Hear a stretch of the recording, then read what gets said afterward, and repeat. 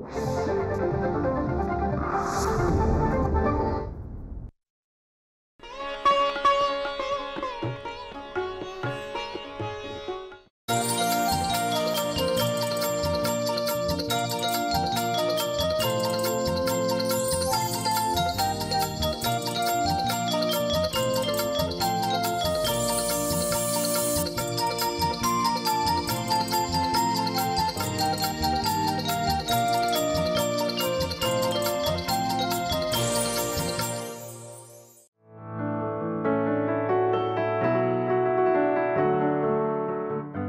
नमस्कार शेतकरी बंधू आणि भगिनींनो.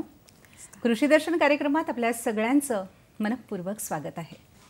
अफाट असा समुद्रकिनारा आपल्याला लाभलेला आहे. कोळी बांधव मासेमारी करून आपली उपजीविका त्यावर करतात. आता समुद्रकिनारी आणि खाडीच्या भागात जे बांधव राहतात त्यांच्यासाठी आणखीन एक खूप वरदान ठरेल असा एक व्यवसाय आहे. समुद्री शेवाळ लागवड. काय माहिती का शेतकरी बंधू भगिनींनो? की आपण नवनवीन व्यवसाय केले तर त्यातनं आपल्याला नेहमीच फायदा होतो. समुद्री शेवाळ हे सौंदर्य प्रसाधनं खाद्यपदार्थ खत बुरशीनाशकं कीटकनाशकं वस्त्र उद्योग अशा अनेक ठिकाणी वापरलं जातं आणि त्याला प्रचंड मोठ्या प्रमाणात मागणी आहे. त्यामुळे हा व्यवसाय जर केला तर नक्कीच आपल्याला फायद्याचा ठरेल. आणि असं असताना आपण जशी शेती करतो तर तसं लागवड करण्यापूर्वी आणि लागवड करताना मशागत करावी लागते. समुद्री शेवाळाला तशी मशागत करावी लागते का? नाही. खत वेगळं लागतं का? तर नाही. आणि त्याची काळजी निसर्ग घेतो. म्हणजे वेगळी काळजी आणि निगा घ्यायचीही आपल्याला गरज नाही आहे तर हा एक सुंदर असा विषय आहे महत्त्वपूर्ण विषय आहे आपल्या फायद्याचा विषय आहे तो आज आपण संपूर्ण बारकाईनं लक्षात घेऊया. आजचा विषय आहे समुद्र शेवाळ लागवड आणि वापर.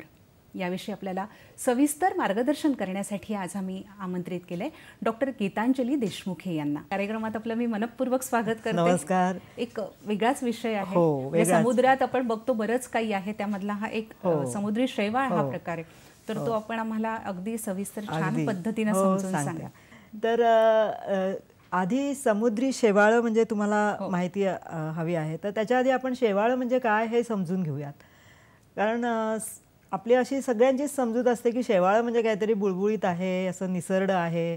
तर ते असं नकोस असं वाटतं. हो. परंतु समुद्री शेवाळं हे अगदी त्याच्या विपरीत अतिशय सुंदर असं वनस्पती आहे ती.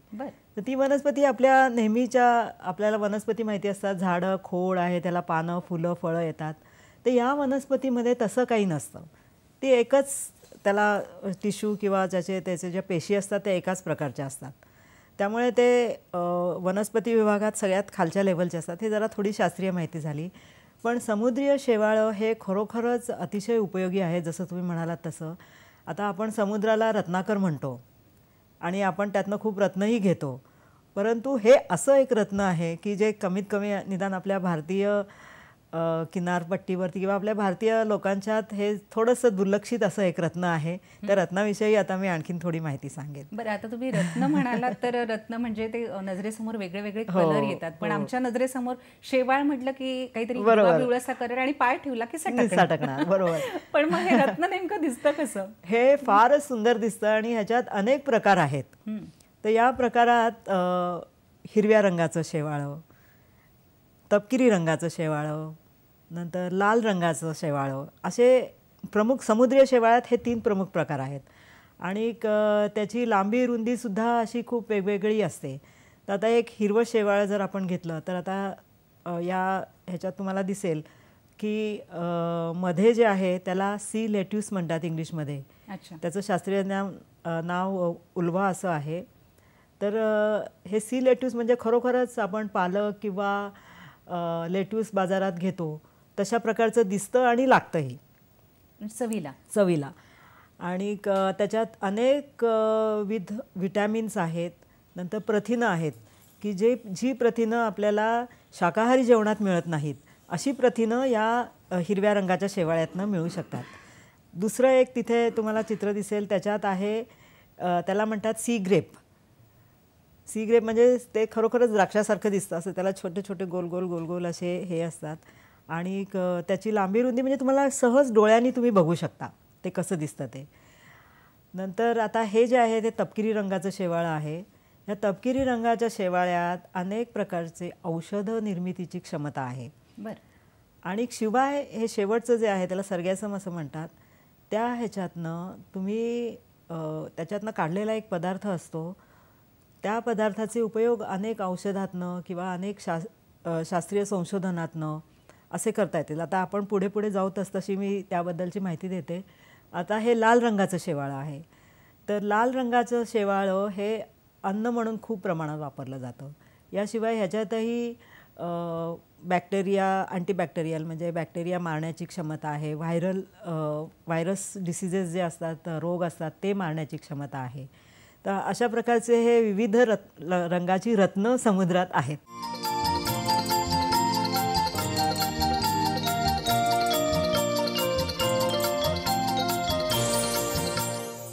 तुम्ही जे वेगळे वेगळे प्रकार हो. सांगितले तर प्रत्येक प्रकाराचा वेगळाच उपयोग हो. आहे की एकच नाही वेगवेगळे आहेत प्रत्येकाचे वेगवेगळे आहे आता या सूचीत अन्य आता तुम्ही आधी म्हटला अन्न खाद्य खत औषधं नंतर सौंदर्य प्रसाधनं आणि शिवाय एक फायकोकोलाइड्स म्हणून त्यातनं जो एक द्रव्य काढला जातो तो अनेकविध औषधातनं किंवा सौंदर्य प्रसाधनात आणि असेही तुम्ही वापरू शकता आता अन्न म्हणून बघितलं तर सगळ्या ईस्ट एशियन कंट्रीज म्हणजे इकडे जे पौर्वात्य देश आहेत जपान चायना फिलिपिन्स कोरिया या सगळ्या देशातनं हे शेवाळं प्रमुख अन्न म्हणून खाल्लं जातं अच्छा म्हणजे आपण. भाजी वगैरे करतो. भाजी करतो तसं आणि हे खाण्याची पद्धत चीन पासून सुरू झाली चीनमध्ये अगदी पूर्वी म्हणजे इसवी सन अ, एक दोन त्या काळात हे फक्त राजे रजवाड्यांच्या विशेष समारंभात हे दिलं जायचं. खा हे सीवीड फूड म्हणून. एक डेलिकसी म्हणून ते दिलं जायचं. अशा प्रकारे नंतर चीनमधनं जपानमध्ये कोरियामध्ये आणि नंतर सगळ्या देशातनं पसरलं आहे आता तुम्ही मुंबई पुणे पुण्यात एवढं आहे की नाही माहीत नाही पण मुंबई दिल्ली कलकत्ता मद्रास अशा ज्या मेट्रो शहरं आहेत तिथे सुशी बार खूप प्रसिद्ध आहेत. सगळ्यांना ऐकून माहिती असेल. सुशी हे सगळ्यांना आजकाल तरुणाईला तर छानच खूपच आवडतं. तर हे सुशी म्हणजे काय असतं? की मी जे लाल रंगाचं मगाशी दाखवलं त्याच्यात एक नोरी म्हणून किंवा पोरफायरा ज्याचं सायंटिफिक नेम आहे नाव आहे तर ते नोरी जे आहे ते असं एकावर एक थर पातळ सा हे साठवून ते आवनमध्ये ड्राय करतात आणि त्याचे मोठे मोठे असे जसे कागद असतात तसे पेपर्स बनवले जातात. आणि मग ते पेपर चौकोनी कापून ते बाजारात विकत मिळतात. अच्छा. तर ते आताही सुद्धा तुम्ही स्टार बाजार किंवा नेचर्स बास्केटमध्ये वगैरे गेला तर तुम्हाला ते मिळतील. इथे सुद्धा आपल्याला आता भारतात मिळतात. तर ते जे आहे ते भाताचे गोळा असतो म्हणजे त्यांचा चिकट असतो थोडासा भात तर त्याला ते गुंडाळून त्याच्यामध्ये मासा किंवा आपलं लोणचं घालून ते जेवण म्हणून घेऊन जातात. म्हणजे किती गरीब असला मी जपानमध्ये बघितलं किती गरीब माणूस म्हणजे आमच्या लॅबमधला जो असिस्टंट होता त्याचंसुद्धा रु दुपारचं जेवण म्हणजे तो भाताचा गोळा त्याच्यावर गुंडाळलेलं शीट आणि ते असं होतं. म्हणजे त्यांच्या जेवणात सकाळ दुपार संध्याकाळ कुठल्या ना कुठल्या तरी पदार्थात हे शेवाळं वापरतातच. आता शेवाळ्याचं एवढं का त्यांच्याकडे हे आहे? आणि नंतर पण अजून खूप संशोधनं झाली आहे तर असं दिसून आलं आहे की एक किलो भाजी आणि शंभर ग्रॅम हे शेवाळं समुद्री भाजी. त्याला शेवाळं नको म्हणूया आपण. आपण त्याला समुद्रीय भाजी म्हणूया. कारण हे जशा आपल्या भाज्या आहेत तसंच ते आहे. तर ही समुद्रीय भाजी शंभर ग्रॅम त्यातले पोषक द्रव्य एक किलो भाजीच्या बरोबर आहेत आणि त्याच्यापेक्षाही जास्त आहेत. कारण ह्याच्यातनं तुम्हाला कॅल्शियम कॅल्शियम याच्यात शंभर ग्रॅम शेवाळ्यातनं हिरव्या रंगाच्या शेवाळ्यात तुम्हाला जवळजवळ अकराशे मिलीग्रॅम हे कॅल्शियम मिळतं. त्यामुळे त्याच्याशिवाय बरेच प्रथिनं मिळतात. अशा रीतीने हे अन्न म्हणून खूपच उपयोगी आहे. आता दुसरं म्हणाल तर खाद्य. तर खाद्याच्या ह्याच्यात आता हे जे लोक मासळी पालनाचा व्यवसाय करतायत म्हणजे ते तुम्ही गोड्या पाण्यातले मासे करत असाल किंवा रंगबिरंगी मासे करत असाल तर जे शेतकरी मासे उत्पादन करतात त्यांच्यासाठी हे फारच उपयोगी आहे. अच्छा. कारण म्हणजे तोच आपला महत्त्वाचा प्रश्न आहे हो. की इतकं त्याच्यामध्ये उपयुक्तता हां. आहे इतके गुण आहेत तर मग आमचे शेतकरी का नाही वापरत? ते म्हणजे याची शेती करू शकतात करू शकतात. लागवड करू हो, शकतात हो. आणि करू शकत असतील तर हो. कशी शेती म्हणजे फक्त तुम्ही जमिनीवरची शेती असं नाही मी शेती म्हणजे जी लोक मत्स्यपालन करतात ती सुद्धा शेतीच शेती. आहे ती सुद्धा. शेतीच आहे तर त्यांच्यासाठी हे खूप उपयोगी आहे कारण ह्याच्यातले जे अँटीबॅक्टेरियल किंवा अँटीव्हायरल की ज्याच्यामुळे विष विषाणूचा प्रादुर्भाव कमी होईल किंवा जीवाणूंचा प्रादुर्भाव तुमच्या माशांच्या ह्याच्यात कमी होईल. आणि शिवाय माश्या रंगीबेरंगी माशांना कसं त्यांचे रंग खूप सुंदर असतात. तर त्या रंगावरती आणि त्यांच्या ह्याच्यावरती एक प्रकारची तकाकी यायला लागते. तर ती तकाकी तुम्ही जेव्हा हे शेवाळं त्या त्यांच्या अन्नात मिसळून घालाल तेव्हा ती तकाकी खूप सुंदररीत्या येईल. आणखीन एक प्रश्न असा आहे की तुम्ही म्हणालात की आता समजा शेतकरी म्हणा किंवा आमच्यासारखे आहे त्यांना वाटलं की नाही बाबा आपणही समुद्र शेवाळ आपल्या अन्नामध्ये ते असावं. तर ते कुठे मिळेल आणि ते कशा पद्धतीने असावं? आता आपला समुद्रकिनारा जवळजवळ आठ हजार किलोमीटरपेक्षा जास्त आहे. तर त्या आठ हजार किलोमीटरमध्ये सगळीकडेच मिळेल असं नाही. हं. तर ज्या ठिकाणी समुद्रकिनारा खडकाळ आहे किंवा प्रवाळयुक्त आहे अशा ठिकाणी हे शेवाळं जास्ती करून नैसर्गिकरित्या वाढतं. तर त्या वाढीसाठी आता महाराष्ट्रात सुद्धा आपला सातशे वीस किलोमीटर जवळजवळ किनारपट्टी आहे.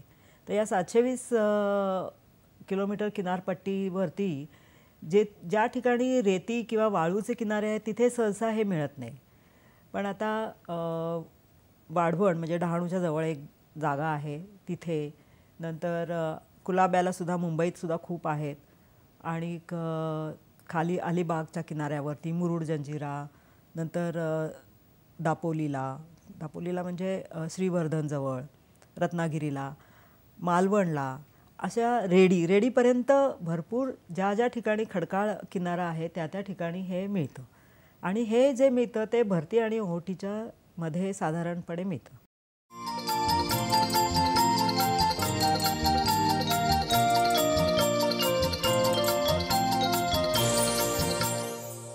कोणाला वाटलं की आता आपण याचं शेती करावी. शेती करावी किंवा हे आपल्याकडे असावं का? आपण जसं अं, म्हणजे मासेमारी करतो तसं घ्यावं किंवा समुद्र किनारा नाहीये खाडी आहे जवळ. तर हो, त्यांना तुम्ही काय. सुचवाल? ह्याच्यासाठी अगदी सोपी सोप्या पद्धती आहेत.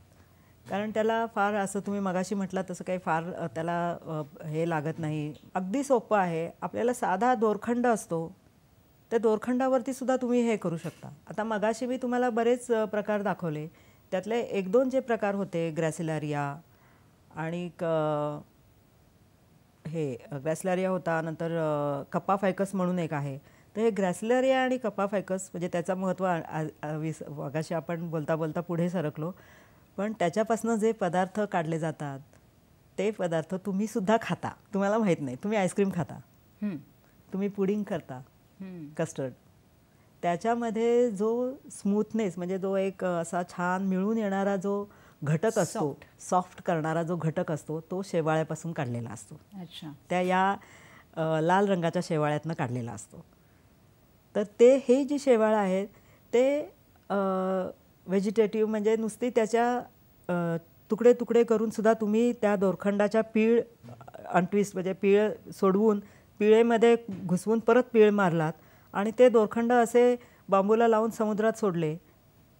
पण फक्त तिथे भरती ओहोटीचं हे पाहिजे. म्हणजे एक दोन वेळा तरी त्याच्यातनं पाणी खालीवर झालं पाहिजे आणि गाळ जास्त जमता कामा नये. म्हणजे कसं पाणी स्वच्छ पाहिजे.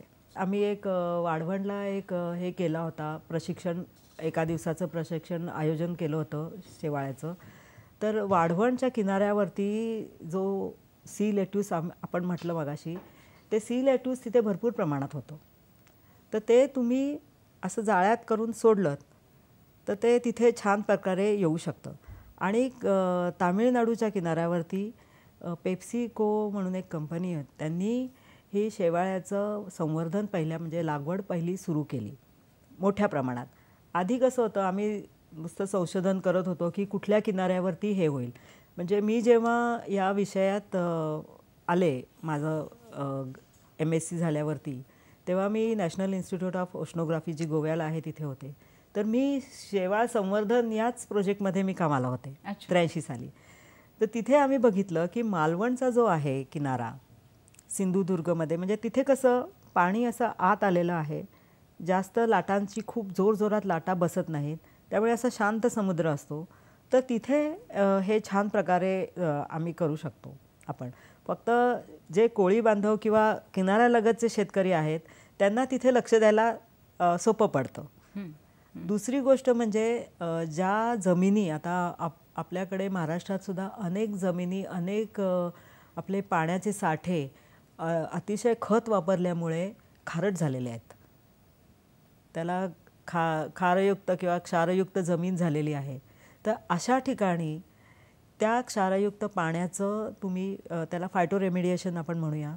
त्याच्यासाठी तुम्ही शेवाळ जरी त्याचा उपयोग नाही केलात इतर कशासाठी तुम्ही इंधन म्हणून किंवा नंतर त्याचा उपयोग तुम्ही खत म्हणून वापरू शकता पण ते क्षारता कमी करण्यासाठी किंवा त्याच्यात जे हार्ड वॉटर म्हणतात म्हणजे जड पाणी जे झालेलं असतं ते जरा सॉफ्ट करण्यासाठी म्हणून ह्या शेवाळाचा कृषी म्हणजे शेतकरी वापर करू शकतात. यासाठी तुम्ही जनजागृती कशी करतात आणि किती प्रकारे याला प्रतिसाद हा मिळतो आहे? हां बरोबर आहे. तुमचा प्रश्न बरोबर आहे. आणि क- त्या मानाने अजून जनजागृती झालेली नाही नव्हतीही. पण आता मी तर नेहमीच आभार मानते की आपल्या प्रधानमंत्री नरेंद्र मोदीजींनी मला वाटतं ते जेव्हा एक पाच सहा वर्षापूर्वी त्यांनी जे दर महिन्याला किंवा पंधरा ऑगस्टला का सव्वीस जानेवारीला त्यांनी एक भाषण केलं. त्या भाषणात त्यांनी शेवाळ्याचं महत्त्व आणि त्याची लागवड आपण सुरू केली पाहिजे या संबंधित त्यांनी एक भाषण म्हणजे एक छोटंसं त्यांनी हे सांगितलं होतं. आणि त्याच्यानंतर जे आमच्या म्हणजे भारतीय कृषी अनुसंधान परिषद जे आहे आय सी आर दिल्लीत आहे त्याच्या अंतर्गत आठ आमचे अशा संस्था आहेत. तर त्या सगळ्या संस्थानांनी मग हा उपयोग उपक्रम सुरू केला की शेवाळ्याचं संवर्धन आणि त्यांचं एक्सटेन्शन म्हणजे तुम्ही शेतकऱ्यांना जाऊन हे सांगावं. तर जिथे जिथे आम्ही जातो असं आमच्या इथे एक एक्सटेन्शन डिव्हिजन पण आहे. आणि दुसरं म्हणजे आम्ही अशी शेतकऱ्यांना बोलवून घेतो. आमचं जे शैक्षणिक संस्था आहे जरी आमची डिग्री स कॉलेज असलं तरी तिथे आम्ही असे आता खूप खूप उपक्रम आहेत की ज्याच्यात आम्ही शेतकऱ्यांना बोलवून त्यांना आम्ही ट्रेनिंग देतो बर तर म्हणजे काही अभ्यासक्रम हो? अभ्यासक्रम म्हणजे आमच्या स आमचे जे मी नंतर तिथे शेवटी वेबसाईट दिलेली आहे तर तिथे शॉर्ट टर्म ट्रेनिंग वगैरे असे दिलेले असतात. तर शेतकऱ्यांसाठी किंवा हो ज्यांना त्या ह्या ह्याच्यात आवड निर्माण झाली आहे किंवा जे येतात त्यांच्यासाठी आम्ही स्पेशल ट्रेनिंग आम्ही उपलब्ध करून देऊ शकतो आणि दुसरं म्हणजे या मी मगाशी प्रधानमंत्री योजनेचं सांगत होते. तर आता प्रधानमंत्री मत्स्य संपादन योजनेमध्ये जवळजवळ सहाशे चाळीस कोटी रुपये इतकं त्यांनी शेवाळ्याच्या संवर्धनासाठी. सुरक्षित करून ठेवलेले आहेत. तर ह्याच्यासाठी जी माहिती आहे किंवा जो फॉर्म भरायचा असतो तो प्रत्येक राज्यातल्या मत्स्य विभाग जो आहे म्हणजे शासकीय मत्स्य विभाग जो आहे महाराष्ट्राचा आहे तर असे शासकीय मत्स्य विभागाचे केंद्र कृषी विज्ञान केंद्र म्हणा किंवा त्यांचं जे कार्यालय असतात ते जागोजागी असतात. तर तिथे हा फॉर्म भरून तुम्हाला त्याच्यासाठी शेवाळं करण्यासाठी तुम्हाला त्याच्या संवर्धन लागवड करण्यासाठी पैसे मिळू शकतात. बरं. पण हे म्हणजे अगदीच सोपं आहे आणि तुम्हाला याचे पैसेही मिळू शकतात.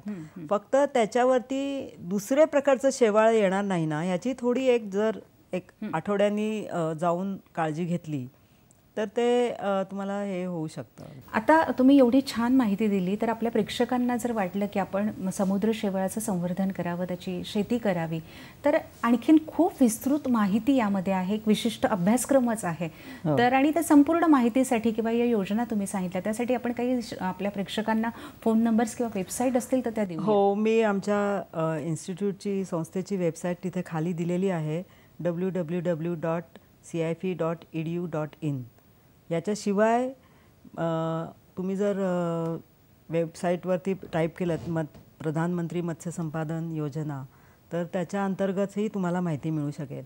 आणि आमच्या फोन नंबर तुम्ही माझा घेऊ शकता. केव्हाही आम्ही तयारच असतो. म्हणजे आम्ही स्टुडंट्सनाही प्रशिक्षण द्यायला तयार असतो शेतकऱ्यांनाही द्यायला तयार असतो. तर माझा फोन नंबर मी देते nine seven six nine four six zero three one zero. जाता जाता काय संदेश देणार आहात? की शेवाळं हे खरोखरच एक रत्न आहे आणि ते तुम्ही जरूर पारखा आणि आपण त्यांचे आभार मानले पाहिजेत. नक्कीच. शेवाळ्याचे की शेवाळ्यामुळे आपलं पाणी सुरक्षित आहे समुद्रकिनाराही सुरक्षित आहे प्रदूषण कमी होतं आणि आपले मासे पण त्याच्यात छान जगू शकतात. तर आपण या शेवाळ्याचे आभार मानूयात आणि जरूर आपण असा प्रयत्न करूयात की शेवाळं आपण जास्तीत जास्त वापरू आणि क आपल्यालाही त्याचा लाभ होणार आहे. असं अशा रीतीने आपण पर्यावरणही सुरक्षित करू आणि आपणही सुरक्षित राहू. शेतकरी बंधूंना एक खरंच आहे एक वेगळी वाट तुमच्या आयुष्यात नक्कीच नवीन पहाट घेऊन येईल तेव्हा समुद्री शेवाळ्याचा नक्की विचार करा.